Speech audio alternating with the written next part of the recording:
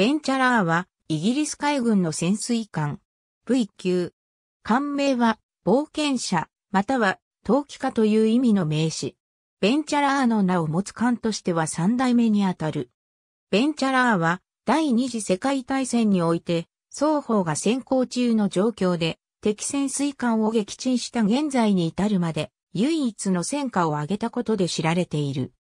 ベンチャラーは U級潜水艦第2グループの改良型である V 級潜水艦で最初に完成した艦として1942年8月25日にバローイコールインイコールファーネスのビッカースアームストロングで起工し、1943年5月3日に進水、1943年8月19日に初代艦長、ジェームズ・スチュアート、ジミー・ラウンダース大尉の指揮下で就役した。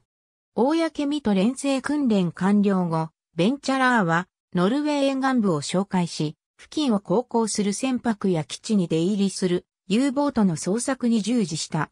1944年3月2日、ベンチャラーはノルウェー沖でドイツの小戦トールを来撃して撃沈した。4月15日には同じくドイツ船フリードリヒスハーフェンを9月11日にノルウェー船バングをそれぞれ来撃で沈めた。2日後には、ノルウェーの商船フォルスに対して3本の魚雷を発射するが、魚雷はすべて外れた。なおもベンチャラーは浮上して、砲撃によってフォルスを沈めようとしたが、ドイツ軍の沿岸砲台から砲撃を受けたため離脱を余儀なくされた。1944年11月11日、ベンチャラーはアンデネス東方7海里の露法天諸島沖において、浮上航行中の U-771 を来撃で撃沈した。1945年2月9日、若干25歳のラウンダース艦長に率いられたベンチャラーがシェトランド諸島ラーウィックにあるイギリス海軍潜水艦基地を出て11回目の紹介を行っていたこの日、ベンチャラーは海戦史に残る記録を打ち立てることになった。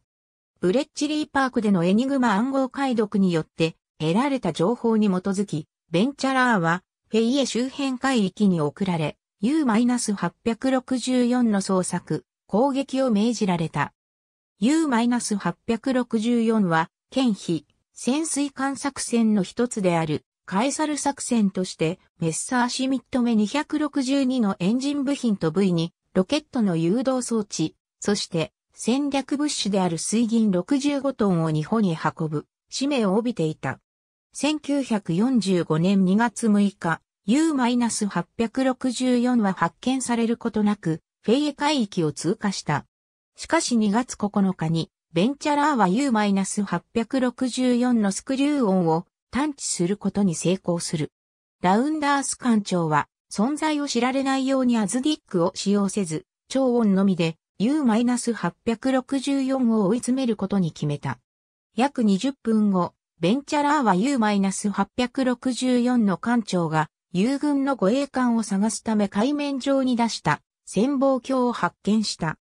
双方の乗員たちが訓練したことのないこの稀な状況での交戦において、ラウンダース艦長は U-864 が浮上し絶好の標的になる瞬間を待つべく、U-864 の発見から戦闘配置を命じるまで45分間にわたって追跡を続けた。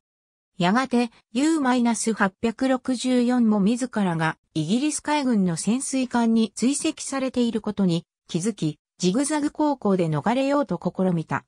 U-864 の護衛艦は未だ到着しておらず、双方は危険を冒しつつ、時折潜望鏡で相手を確認しながら行動を続けた。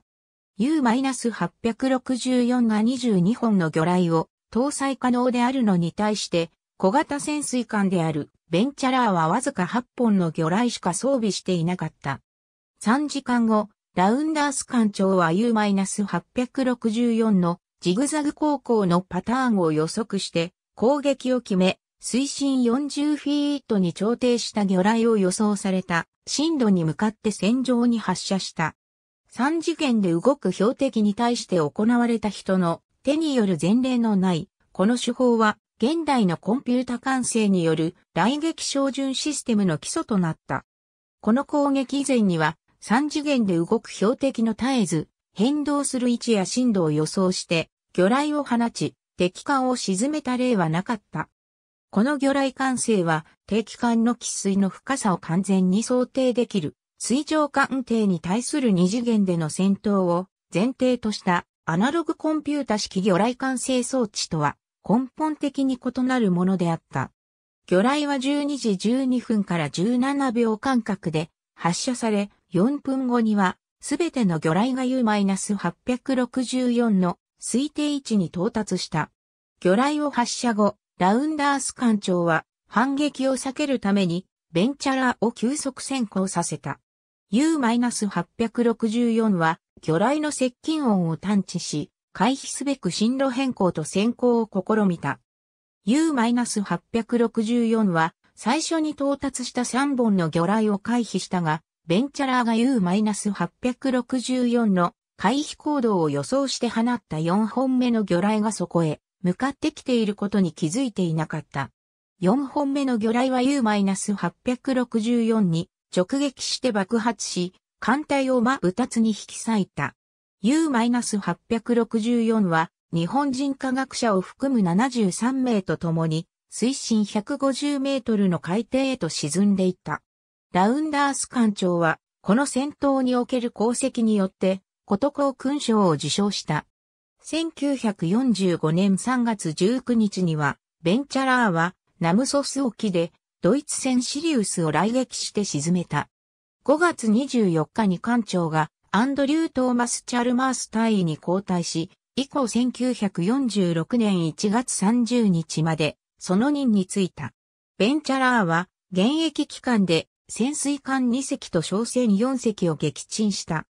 ベンチャラーは U-864 の撃沈により、双方が先行中の状況で、敵潜水艦を撃沈した唯一の潜水艦であり、かつ U ボートを複数撃沈した唯一の連合軍潜水艦という記録を残した。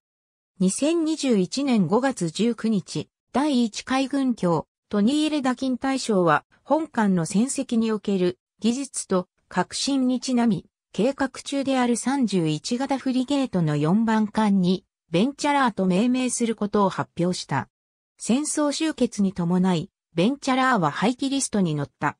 1946年に、ベンチャラーはノルウェー海軍に売却され、ウトシュタインと改名された。